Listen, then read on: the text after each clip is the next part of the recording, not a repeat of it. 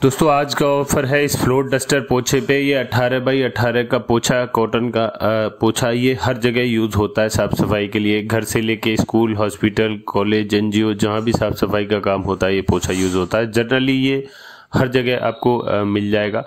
हर grocery store पे मिल जाएगा। बहुत कंजप्शन इसका होता है, जिसकी की रिटेल प्राइस है पंद्रह से बीस रुपये जो आपको आज ऑफ़र में मिल रहा है सिर्फ़ छः रुपये का।